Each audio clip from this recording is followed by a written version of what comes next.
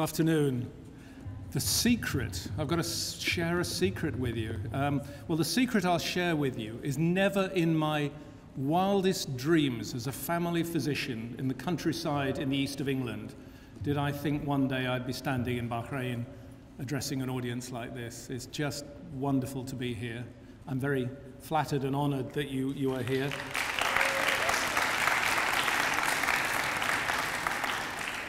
I've, I've been in Bahrain since uh, my plane landed at 8.30 on Saturday night. So that's how much expertise I have about this country. Is um, I fly home at 2.15 tomorrow morning. I have a meeting in London at 9.30 tomorrow morning. I sometimes think I'm crazy, but never mind.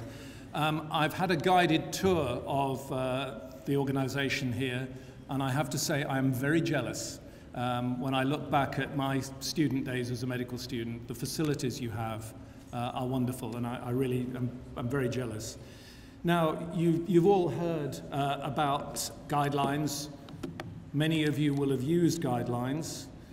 Um, NICE, my organization that I'm, I'm, chair of, is probably the world's foremost uh, producer of guidelines. We're, I was trying to count up how many countries I've visited to talk about guidelines. It's about 20 now.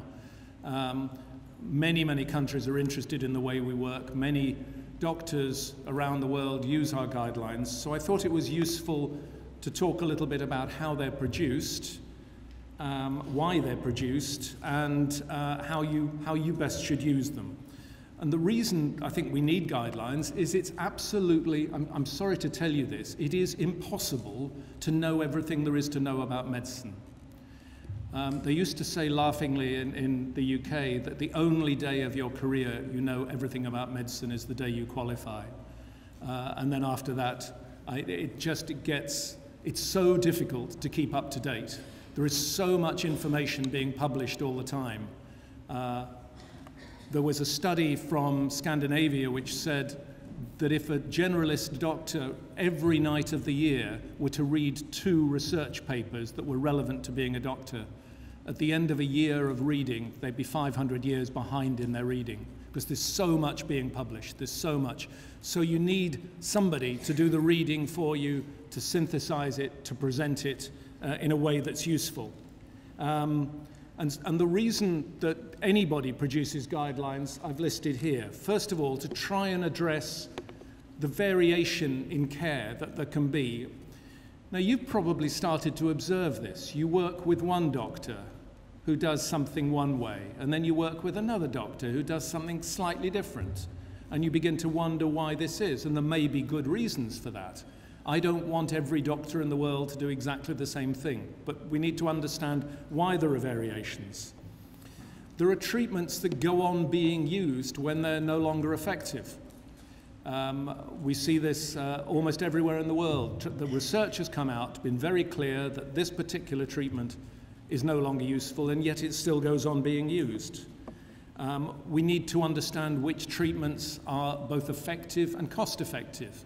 Uh, there isn't an infinite amount of money out there to, to spend on healthcare, so you need to know what's going to, be, going to be useful. You need to be able to take on board the new developments and know about them.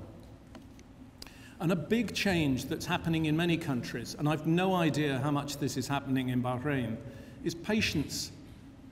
Patients are very interested in their healthcare. Um, after all, it's their body, it's their illness. Why wouldn't they be? When I was a, a, family doctor, I remember one of my own patients coming to see me and saying, uh, Dr. Haslam, I've been looking at the NICE website and uh, you've got me on the wrong treatment. Now, I thought, I, I genuinely, I thought, gosh, that's, I, I wasn't irritated. I honestly wasn't irritated. I was really, uh, it's his body, it's his interest, um, and he shared the information with me, and he was right. And we changed his treatment. Now, I think we're going to see this more and more. Uh, in many in some countries more than others, but patients are really interested in what quality care looks like. Uh, and they're going to say to their doctors, one day they're going to say to you, Why are you treating me with that? Why aren't you using this? And you need to be able to understand that. And as I've said, it's pretty well impossible for any of us to keep up to date with absolutely everything that's published. Um, so, for a long time, there have been guidelines produced. Many countries around the world have produced uh, guidelines on best, best practice. Um, and one of the commonest ways that they were produced in the past is what I call the uh, BOGSAT method, which stands for bunch of guys sitting at a table. Uh, fundamentally, a group of senior clinicians will often sit around and they'll talk to each other and say, what's best practice? And they'll write down what they do, and then you'll, that'll be passed down to, to their juniors and on, onwards. Doesn't necessarily mean they're right. Uh, we also see and have seen in the past an awful lot of guidance that has been sponsored, that has been produced and paid for, and it often looks beautiful, it's printed beautifully, multicolor, lots of logos, produced perhaps by a pharmaceutical company. Um, and they uh, produce guidance on the management of a condition which, surprise, surprise, recommends using their treatment. So internationally, a bunch of criteria have been built up that allow you to look at whether guidelines are something that can be trusted. And these are called the AGREE criteria. Uh, and these very much apply to, to what NICE does. But I thought I'd just say a little bit more about the way NICE produces any of our guidelines. We always, always, always work on evidence. We work on the evidence that's been published in peer-reviewed journals, which may be randomized double-blind controlled trials, it may be other forms of evidence.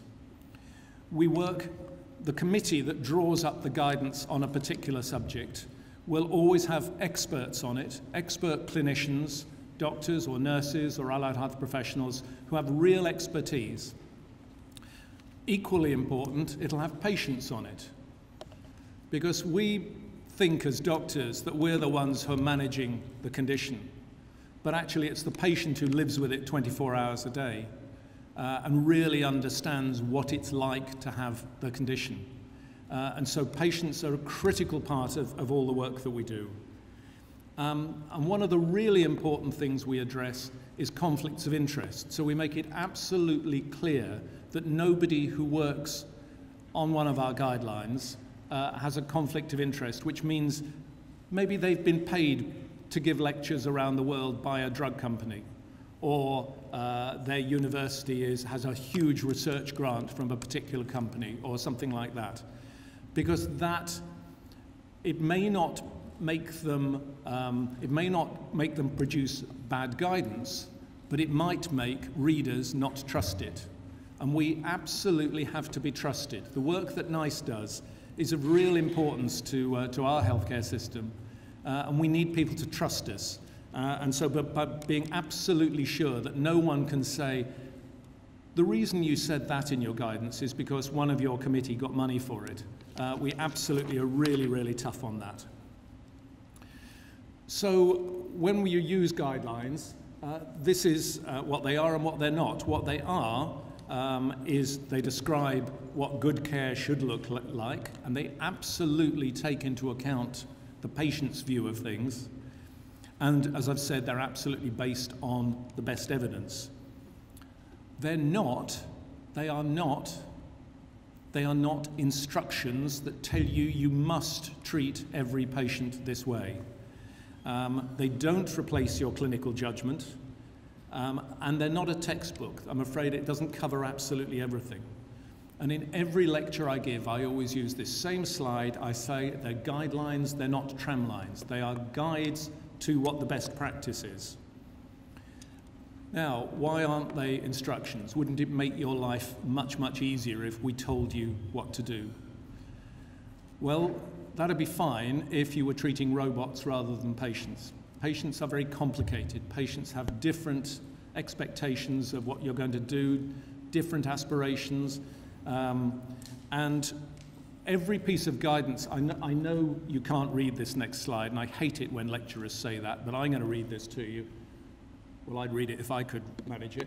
Um, we print in all our guidelines these words.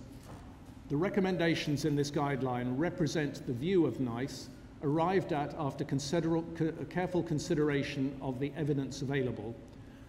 When exercising their judgment, professionals are expected to take this fully into account alongside the individual, in other words, the patient's needs, preferences, and values. The application of the recommendations in this guideline is not mandatory, and the guideline does not, not override the professional responsibility of the healthcare professional to make decisions appropriate to the circumstances of the individual patient. In other words, you have to find out what matters to your patient, and I'll say more about this in, in future. Um, I was talking to another group earlier today about uh, a patient in the UK, uh, a woman who was completely demented to the extent she didn't recognize any of her family member. Um, she had a stroke and broke her hip as she had the stroke and was admitted to hospital. And whilst in hospital, the junior doctor, she was 96, demented. Whilst in hospital, she was started on a statin. And when she was, the, the doctor who started the treatment was challenged, the doctor said, Well, that, that's what the guidelines say you have to do. No, what the guidelines say you have to do is to take into account the individual patient. What are you actually trying to do in a demented 96 year old with a statin? Prevent them having a heart attack at the age of 112? So it's really a question of, of taking on board the real individual patient. Um, so that's, that's I, I cannot tell you how important that is, but also I'm equally clear that you should follow guidelines unless there's a good reason not to. And I'm going to come back to that a little bit in a, in a minute. Um, not all clinicians do follow all our guidance all the time. That's no surprise, is it? Sometimes they don't know about it. Um, sometimes they say there is poor uh, support or there's not enough funding available. Um, occasionally, people don't trust the guidelines, but I've tried to make it really, really clear that with the guidelines we produce and accredited guideline producers around the world, if they really have addressed things like conflict of interest and have worked with experts and worked with evidence, you can trust them. Now, I'm going to just move on now to another really big challenge to, to all of us, and that's the issue of multimorbidity. An awful lot of what you've learned, I, well, I'm guessing this, I don't know how your course is arranged, but most students I meet around the world are talk about, taught about the heart, about the lungs, the brain, the mental health issues, all separate conditions. But our patients uh, are different. Um, You've probably seen graphs like this which show uh, the incredible change in life expectancy. So, in almost every area of the world, people are getting each year, life expectancy is going up and up and up, which is on one level, well, on many levels, especially when you're my age, it's a wonderful thing that people can get older. Um, but what it means is that there are many, many more people who have multiple conditions. And what this chart here shows, across the bottom we've got age range, so 0 to 4, 5 to 9, and so on.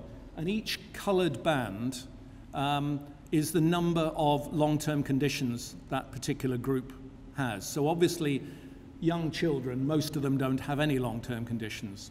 But as you get older, you start, most people or many people start to collect more and more long term conditions. So by the time you're 70 or 80, there are lots of people with a multiplicity of, of healthcare problems. I had a patient in my own practice, uh, a man, uh, he was uh, in his 60s, and he had coronary artery disease, hypertension, hyperlipidemia, chronic kidney disease, diabetes, macular degeneration, osteoarthritis, and depression. I'm not surprised he had depression.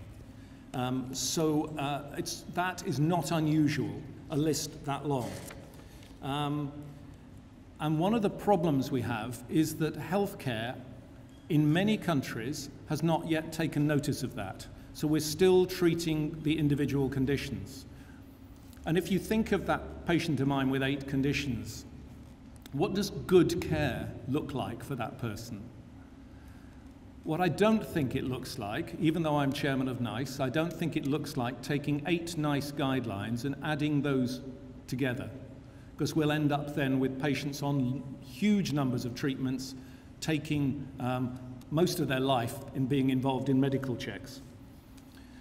And my theory is that, that healthcare, oh, sorry, there's another chart here which I sadly I'm going to skip over unless I don't think you can see enough. But what basically what this chart shows down the side, we've got different conditions and the likelihood of having other conditions with it. And I can give you an example.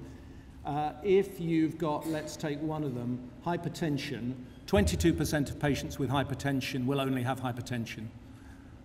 Most of what you've been taught about hypertension is about hypertension. 24% will have one other long-term condition. Another 19% will have two more long-term conditions. 35% uh, will have three or more long-term conditions. Again, uh, it makes everything uh, much more confusing. Uh, and part of, part of what's going on here is that healthcare, I think, in many countries was organized for about 50 years to treat infectious diseases, things like uh, tuberculosis and, and, acute infections. And then we, we went through a phase, much of my career was involved with treating single conditions. Patients would be admitted to hospital, they'd either get better or they die, they go home, healthcare almost finished. And we're now dealing with a completely different era, that of long-term conditions. Um, there are more people in the United Kingdom with two or more long-term conditions than there are with one long-term condition. Yet most healthcare, apart from family medicine and some care of the elderly, is organized around one condition at a time. So as I said, trying to work out what good care looks like for a patient means absolutely putting the patient at the center of this. Um, absolutely using the evidence, using the guidelines, using the recommendations, uh, but really trying to find out from the patient what matters to them. We know that the average person in the UK aged 70 will be on nine different medications.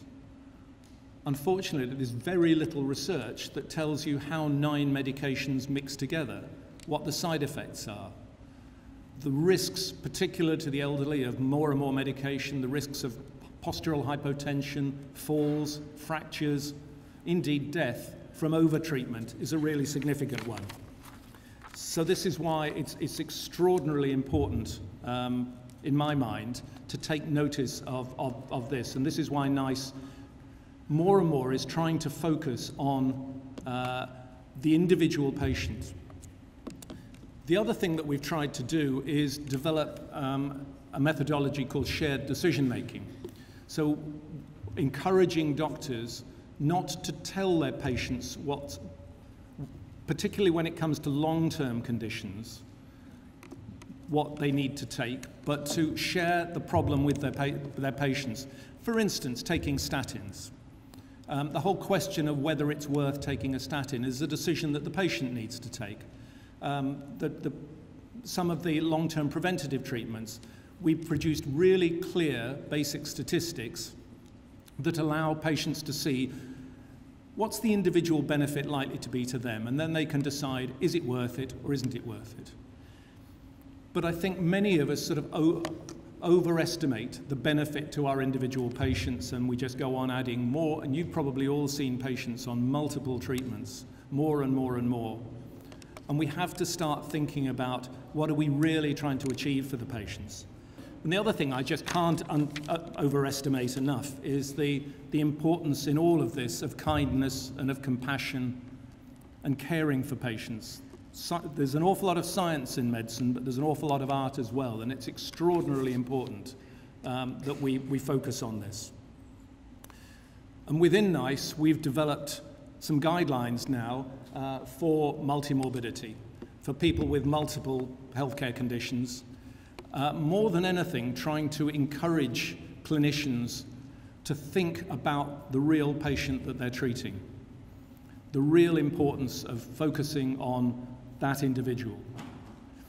Now, my problem when I come to a, a, a different country is I don't know what matters to you, uh, and I don't know what problems you face, and I don't know um, whether you use guidelines, how you use guidelines, and I think it'd be much more useful if, rather than me teaching much more, if I listened to any questions that you have and we try and address any challenges, anything that you've come across in guidelines uh, that might be helpful. So uh, I'm more than happy to take any questions. Um, if there are none, we know exactly what will happen, but I can't believe there won't be any. So, yes. Hi. I have a question about um, antibiotic resistance specifically because it's becoming such um, a big issue for clinicians that are uh, coming into the field, so much so that uh, the West, uh, Europe, even the Middle East is holding summits on this particular issue. And I was wondering how um, the NICE guidelines or whether they have uh, taken this into account in formulating their guidelines on uh, antibiotic prescription and stewardship specifically. Absolutely. Extraordinarily important question. The chief medical officer in England, the senior doctor for the health service in England, describes the problem of antibiotic resistance as a probable apocalypse. Uh, that if we don't sort this problem out, the, the real genuine danger of, minor surgery, of, of relatively minor surgical procedures no longer being safe, uh, of people uh, dying from what would be now easily treatable conditions. So uh, NICE has produced, uh, we've done work around antimicrobial prescribing. More than anything, we've just set up a group to look at common uh, pres prescriptions for common conditions, particularly aimed at family physicians. Uh, so we published one last week on the treatment of sinusitis, sinus infections. Uh, for most of my professional career, sinusitis has been treated with antibiotics uh, for many years with tetracyclines, then with broad spectrum penicillins, and so on. There is absolutely no evidence that this makes any difference at all. Indeed, there's absolutely no evidence that anything makes any difference at all. Um, the guidelines also looked at things like nasal decongestants. The, there's a traditional treatment that's used in the UK, but I suspect it's far too hot here, of inhaling, you put a bowl of steam and a towel over your head and sniff the steam up. Now, some people are nodding. There's absolutely no evidence that that works, but more than anything, there's no evidence that, uh, uh, that antibiotics work. So there's a real encouragement not to use antibiotics. Now, I, am not here to make your life easier. I'm here to make it, uh, that, that It'd be lovely if I made your life easier, but one of the challenges, of course, is sepsis. And so we've also recently had a, a, real recognition in the UK of a problem of patients who are admitted to hospital and not early enough have sepsis diagnosed. And there's a significant number of thousands of deaths per year from untreated infections. Why doesn't this make life easy? Because the easiest way to prevent that is to give everybody antibiotics. The quickest way to get to an antibiotic resistant apocalypse is to give everybody antibiotics. So I think the secret has to come down to much better diagnostic criteria for knowing when you really do need antibiotics. The other thing NICE is doing is working with countries around the world to try and adapt our guidance for different countries. Um, and one example that I'm going to run with, though I've been told it might not be strictly accurate, is in New Zealand, where in, South New, in the southern island of New Zealand, um, the evidence that NICE uses for not using antibiotics for throat infections is entirely appropriate. In the North Island, particularly in Auckland, where there's a large population of Samoans, there is a very high incidence, or believed to be a high incidence, of rheumatic fever, and so Samoans with a sore throat are encouraged to go to their doctor to receive penicillin. So you can see the complexity and the importance of focusing guidance on the, on the actual population. So the uh, short answer to your question is yes, we take it really seriously. We're trying to produce more and more guidance on uh, uh, not using antibiotics when they're not needed. Um, And the other, the other big pressure in this is, of course, patient expectation. I was in Beijing in China last year, and, and I was shown a photograph of a clinic in Beijing, uh, an outpatient uh, emergency room clinic. And there was this long row of women, middle aged women, in their outdoor clothes with a cigarette in one hand and their sleeve rolled up in the other arm with an intravenous drip in, receiving antibiotics for their colds. Because the health beliefs in many parts of China are that you need intravenous antibiotic to manage a cold. So understanding the beliefs of the population that you're working with, and in Bahrain that's going to be different to the UK, you have to address those. Um, and one of the important things is to find out what your patient expects and then talk about that if you're not going to do it, rather than leave, let them leave the room thinking, that's a useless doctor. You know, but that doesn't mean you have to give antibiotics. Okay. Anything else?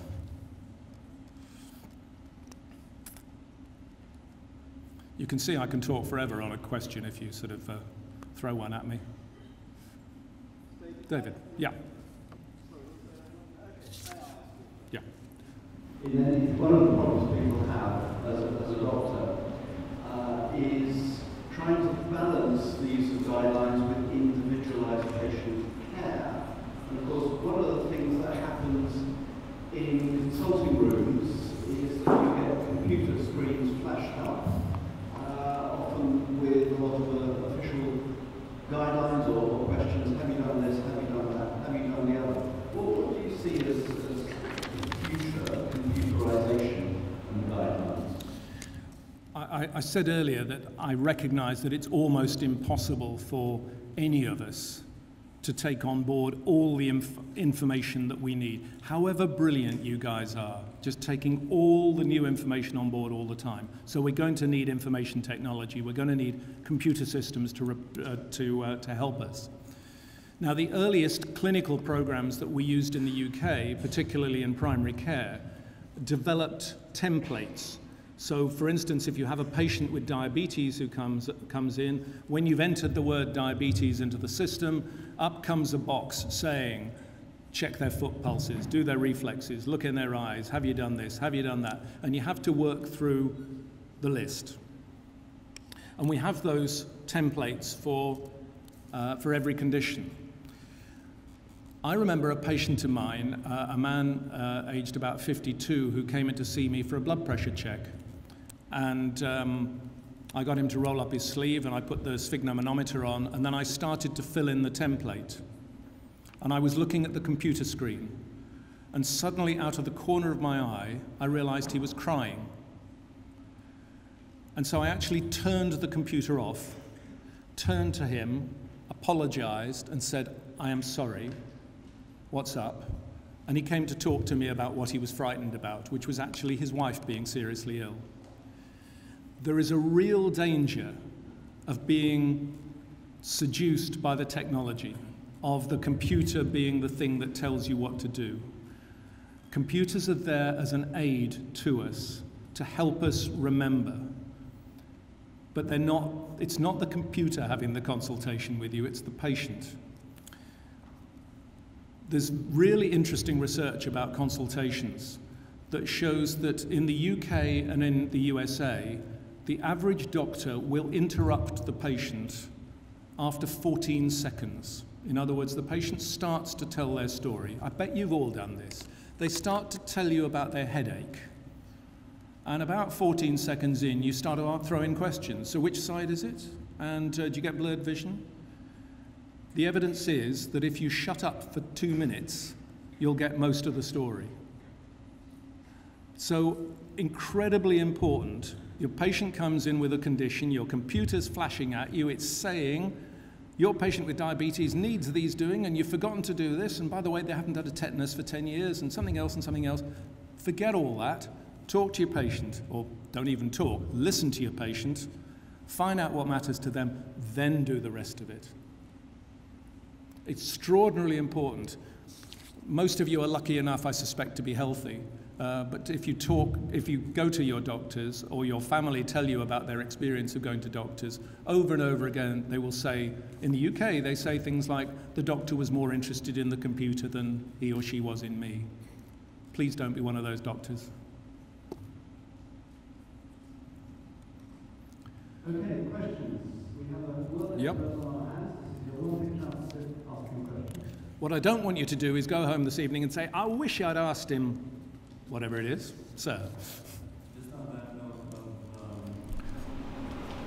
The doctor being more interested with the computer than the patient, uh, you tell us evidence shows that we do stay quiet for two minutes, let the patient say their story.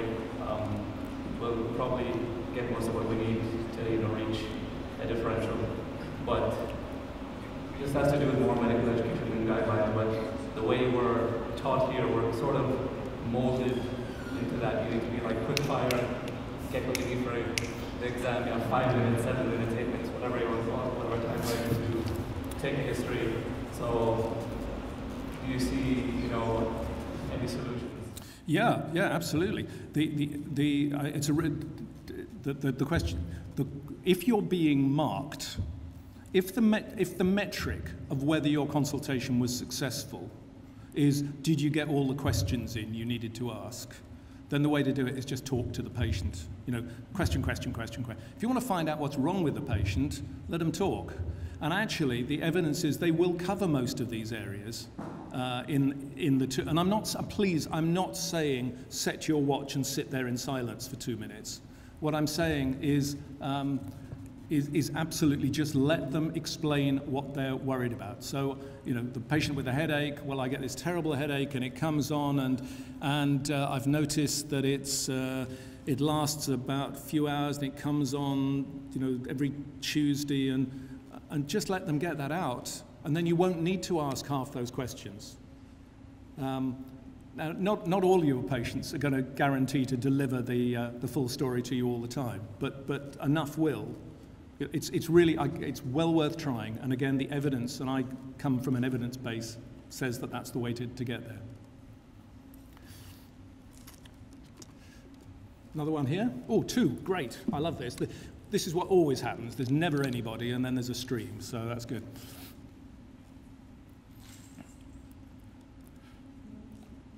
Hi.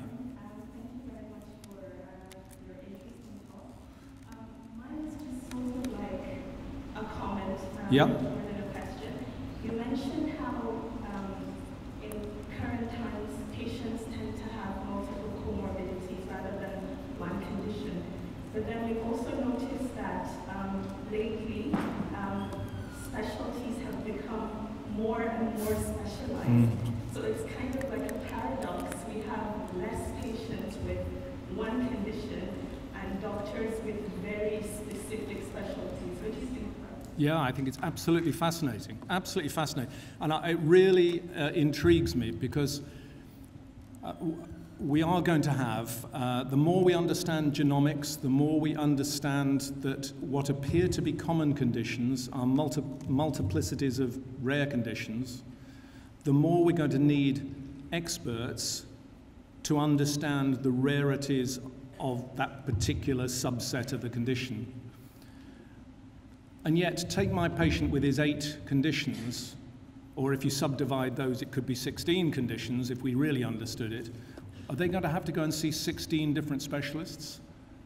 Are they really, is that going to be the way forward? So, I, my, my thought about the future is very much that we're going to need um, many, many more generalist doctors who really take into account the whole of the patient's uh, needs, but with expert consultants that they can consult for advice when needed on the specific topic areas.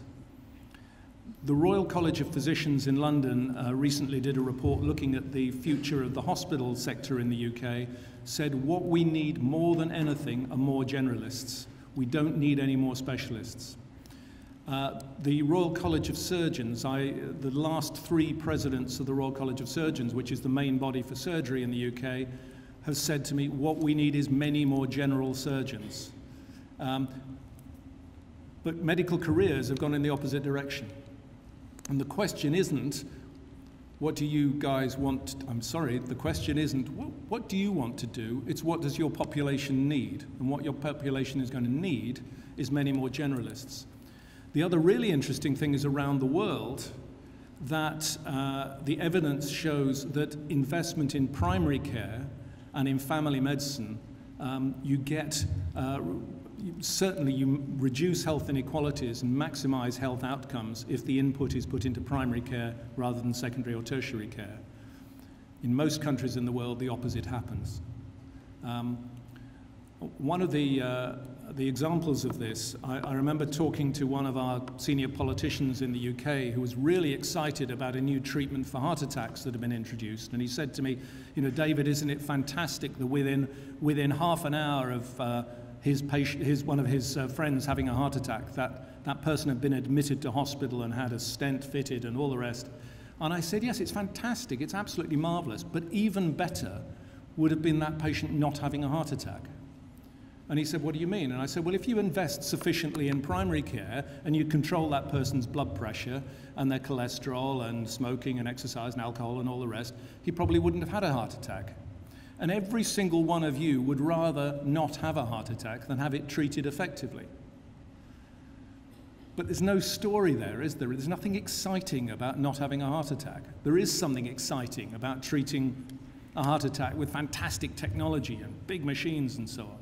So, again, it's a question of the healthcare system working out are we trying to do the exciting stuff or the effective stuff? and you need both. So I'm really interested in your question. I'm not quite, I suspect artificial intelligence is going to become an increasing part of the future. I'm often asked to go and speak to conferences about the future of healthcare, and I can give that talk for about a minute because I have absolutely no idea what's, what's coming. Um, which nobody 15 years ago, nobody 15 years ago would have imagined the impact of the smartphone I bet every one of you has got a smartphone in your pocket. You have access to all the knowledge in the world in your pocket. 15 years ago, we would have thought that was ridiculous to even think of that.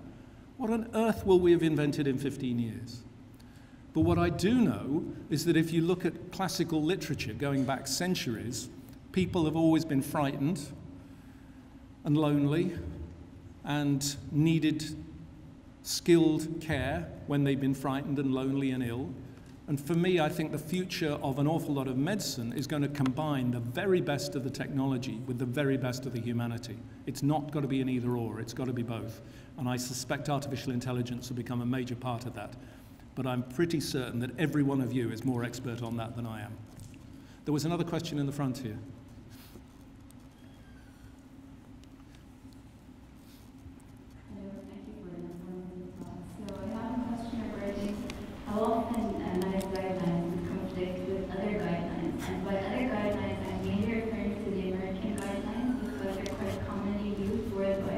Yeah. Um, if these conflicts do, uh, are actually there, um, how should they be handled by a physician? Um, so, so question about why should you believe ours rather than anybody else's is effectively what you're saying. Uh, uh, well, I, I, what I'm saying is the important thing if you use guidelines is um, to be sure that you can trust them. And there are a number of excellent guideline producers around the world. I'm absolutely not saying that NICE is the, it's the only one, it's one of the best known. Um, there are some excellent American guidelines. There's, even within the United Kingdom, the, in Scotland, they produce the Scottish Intercollegiate Guideline Network produces excellent guidelines. The critical thing is being sure you can trust them. And this is where, more than anything, the issue of conflicts of interest comes in. To be absolutely sure that the guidelines you're looking at weren't sponsored by someone. Um, because an awful lot of guidelines in the past have been. They've been sponsored by a pharmaceutical company. Uh, and, uh, and that doesn't mean you can't trust a word anyone says from the pharmaceutical, but you just have to ask if they recommend a particular treatment, um, is there an ulterior motive for that? So the, it's trust is the critical thing. So uh, I, I, can guarantee you can trust NICE guidelines. There are other ones that will have been looked at. Those criteria I showed you earlier, the AGREE criteria. Um, my slides have all gone funny, but um, No, they've disappeared. If you look for, if you look for that mark on a guideline, uh, generally that'll tell you that uh, that's something you can trust. And if it says something different to NICE, well, that's interesting, isn't it? I mean, it's, that's the way life is. It's, um, science is constantly changing. Um, I heard someone on British radio the other day phone in and say, why can't these scientists just make their mind up? Well, the simple fact is science is never going to make its mind up because that's what science does. It's constantly questioning and challenging. There was a question in the front, or two questions in the front, but I'm going to take this one first.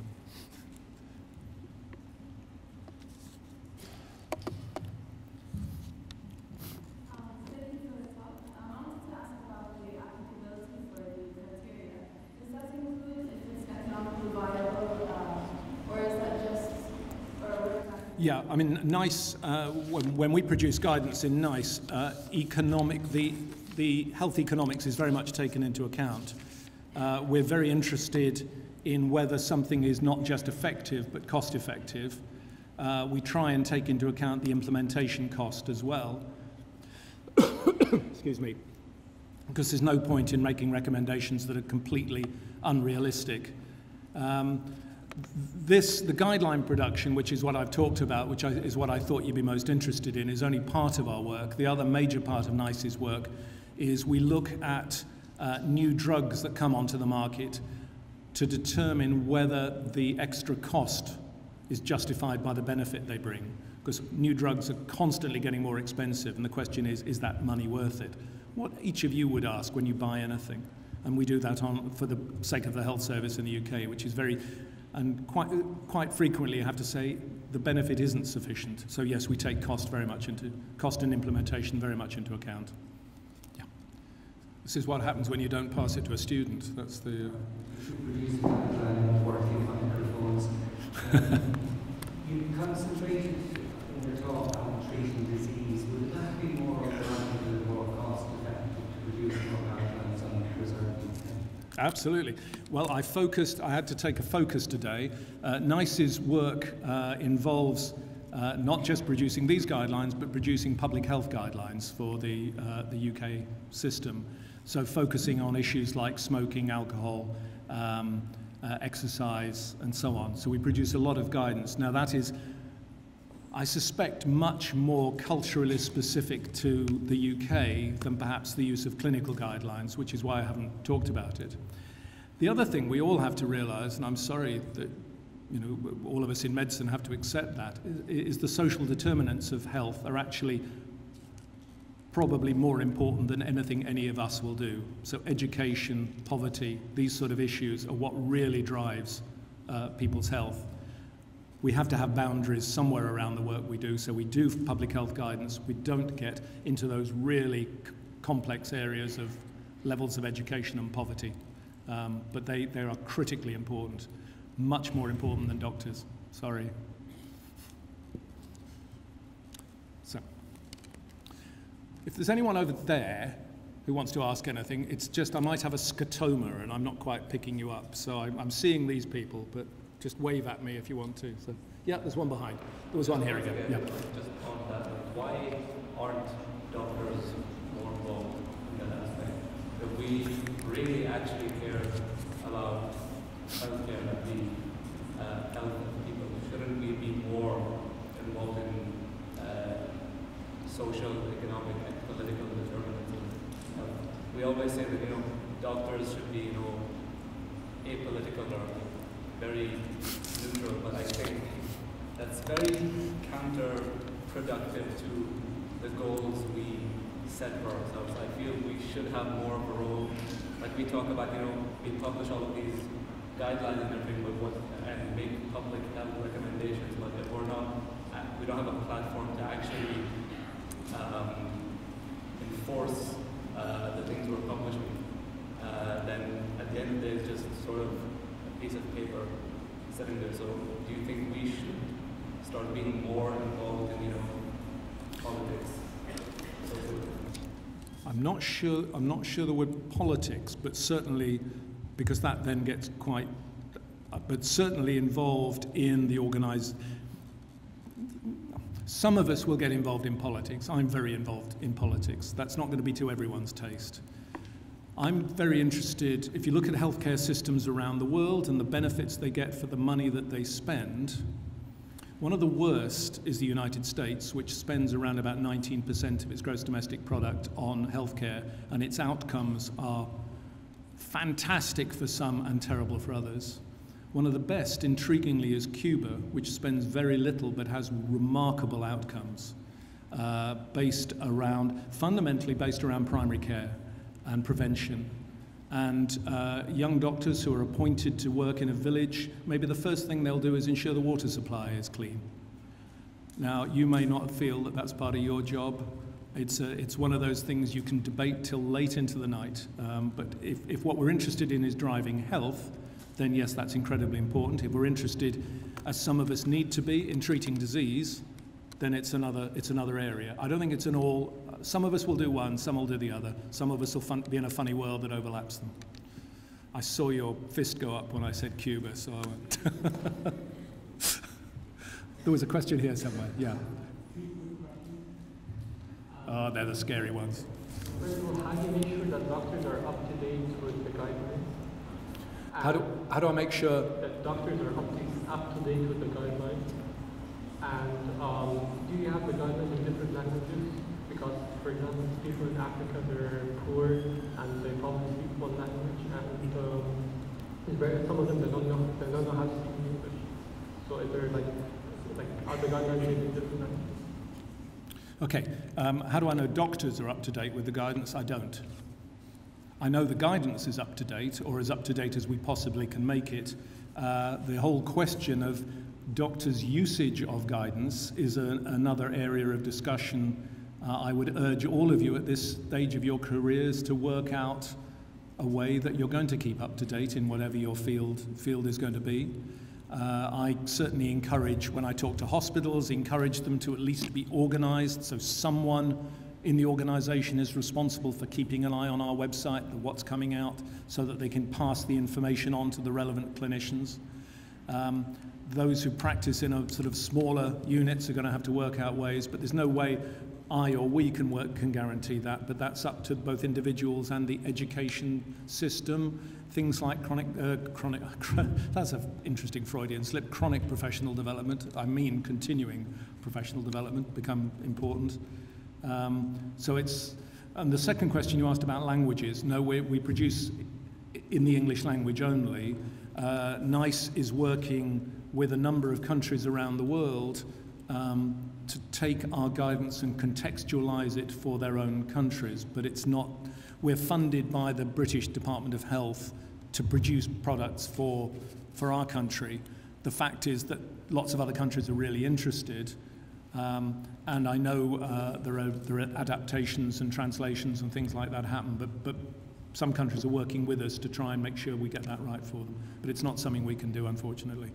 How many languages would you do? That's the. How are we doing? Any more over here? Yeah, one at the front. Keeping you fit.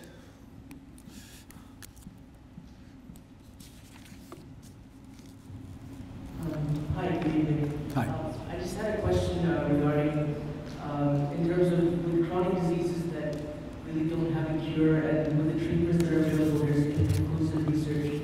How does NICE develop the guidelines for that and how accurate and reliable is that as well?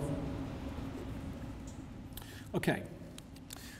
Um, so there's two, two really interesting questions within that. Um, long-term conditions that don't have a cure, and you flagged up the word research. And one of the great problems about so much research that is carried out is that it, ex- well, there's two, two, two or three big problems. One is many researchers exclude patients with comorbidities and exclude patients over 65 A huge amount of published research will take those two exclusion criteria because it makes the work much easier. There is a problem from that in that most patients who consult their doctors are over 65 and have comorbidities. So immediately you've, you've selected a subgroup which is less representative. I can understand why it's done and it makes much tidier science. The other problem with research is it tends to have this publication bias, that it publishes positive rather than negative. So there's an awful lot of research that's carried out that shows such and such treatment isn't very effective, but it tends not to be published so much because a lot of journals just think that's all a bit boring. Um, so the, the bias of publications is towards things that look new and impressive, whereas actually if we got a complete picture, um, then, it, then and there's a lot of international pressure now to ensure that all trials are published uh, to try and make sure we get all, all the data. Now, the, the question of, of not curing, no, long-term conditions we almost never cure. Um, so that's where it becomes really critical finding out what matters to the patient. And that's going to vary patient to patient. Um, we had at the NICE conference last year, we had a presentation about a, a woman uh, in her 80s who was on about 12 different drugs. But there was an interview, a recorded interview with this patient. And really, she wasn't bothered about dying. She just didn't want to have a stroke. Her one priority in life was not to have a stroke.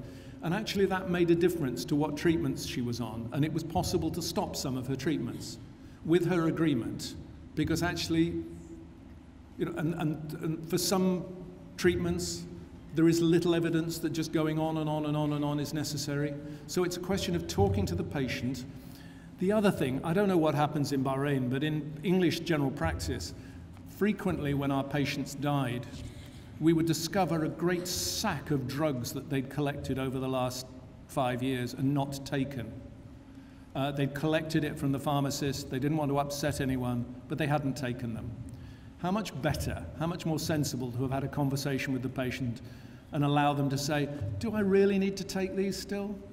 You know, someone of, uh, of 90, do I really need to be on these statins still? Do I really need to take this? So, focusing on the, the individual patient um, can make a huge difference. But we're not, we're not long term conditions, almost by definition, are not there to, to be cured. They're, they're to be there to be managed, and the person you're managing them for is the patient, not you.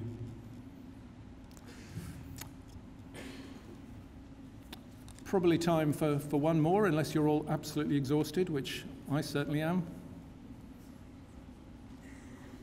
So I guess the, the, key, the key message that I wanted to get across was guidelines can be really incredibly important.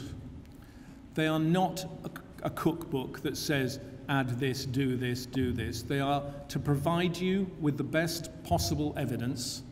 I hope I've demonstrated why, with us and with many organizations, you can trust that evidence, that they should be used with your patients, um, that it's that the fact that something has just been done for years doesn't necessarily mean it's the right way forward, that, it, that, that it's evidence that makes the difference.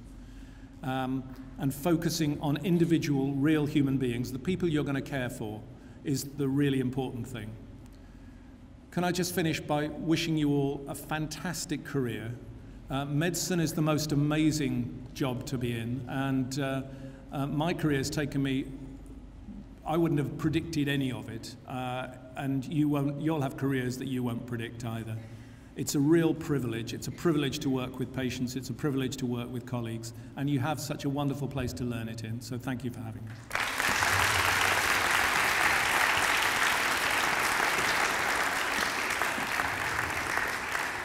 Professor Haslam, I just want to say thank you. Uh, you've come to Bahrain just for two days, and I know that you've had some very important meetings here. And I just want to say thank you so much for giving us the time here at RCSI to talk to our students, because what I have learned in the last four years is that this is the best bunch of guys you will find anywhere. Uh, I say that A, because it's true, and B, because, uh, because this is the generation who are going to be looking after you and I uh, in not that many years' time. So, Professor Haslam, thank you so very, very much. Thank you.